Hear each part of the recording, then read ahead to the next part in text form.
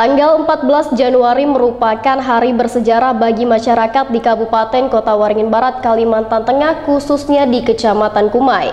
Dari bukti sejarah tanggal 14 Januari 1946 silam merupakan peristiwa terjadinya pertempuran heroik antara para pejuang Indonesia di Kecamatan Kumai melawan tentara Nika Belanda yang mencoba kembali menjajah untuk menduduki kawasan Kumai.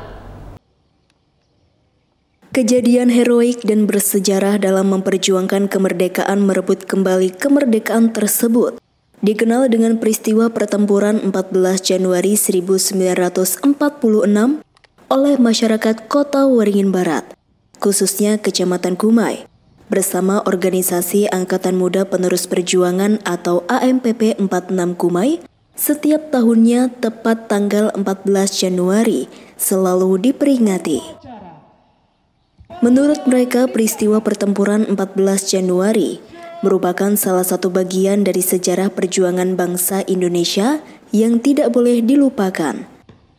Dalam peringatan peristiwa pertempuran 14 Januari 2024 tahun ini, organisasi AMPP 46 Kumai sebagai panitia penyelenggara kegiatan bersama pemerintah daerah Kabupaten Kota Waringin Barat menggelar upacara tabur bunga haul dan penyerahan dokumen pengajuan Panglima Utar sebagai pahlawan nasional dari Yayasan Sejarah Panglima Utar Kota Waringin Barat.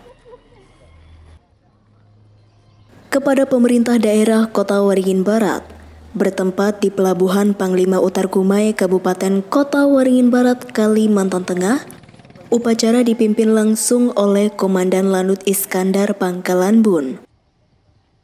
Ketua Panitia Peringatan Peristiwa Pertempuran 14 Januari 2024, Ibram Syah mengatakan, kegiatan peringatan peristiwa pertempuran 14 Januari berbeda-beda setiap tahunnya.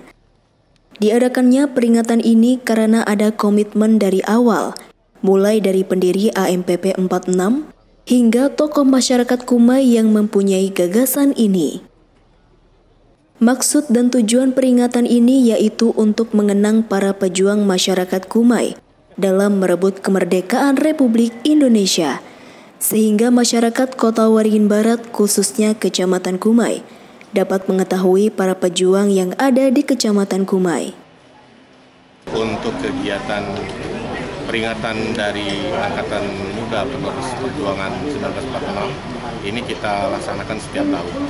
Dan pada pelaksanaan ini, pengurus atau ketua MPP ini menunjuk eh, panitia yang dibentuk oleh AMPP untuk pelaksanaan kegiatan. Dan ini berbeda-beda setiap eh, pelaksanaan setiap tahun.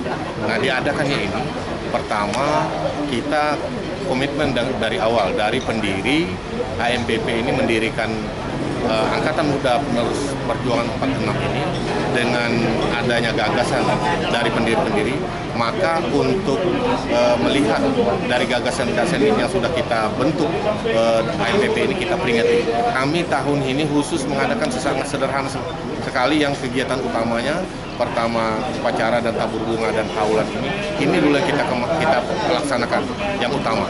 Nah kemudian untuk kegiatan-kegiatan rentetan lain sebagai pendukung kita akan uh, sepakati nanti melihat kondisinya apakah bisa kita laksanakan dengan adanya pesta demokrasi ini khawatirnya kita ada gangguan-gangguan dan ada penyalahgunaan daripada pelaksanaan ini kita akan netralkan untuk uh, ormas kita.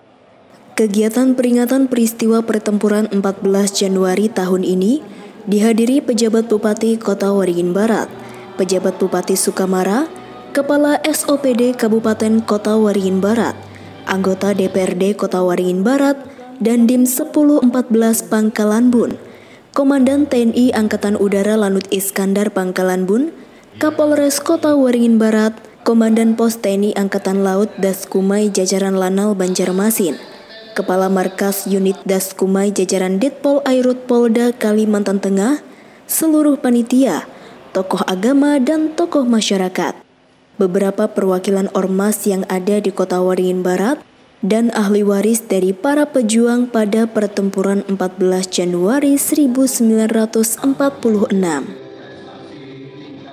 Jamri, SBTV